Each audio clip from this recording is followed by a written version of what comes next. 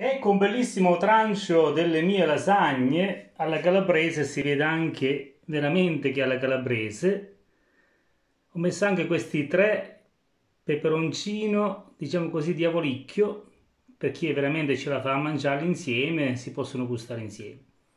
Come vedete si presenta veramente squisita, io metto anche le uova, mi piacciono molto le uova sode, chi non le vuole mettere non le mettesse. Sono tutti gli elementi per soddisfare il palato Qualcuno si vanta che frequenta più i ristoranti e spesso non sono neanche invitato in qualche matrimonio, però vi posso assicurare che a casa mia vi posso proprio assicurare che non siamo assolutamente di meno. Nulla contro la ristorazione, nulla contro, nulla contro chi fa bene il suo lavoro, ma non stiamo a penare neanche a casa. Fidatevi che la nostra parte la facciamo pure qua e alla grande.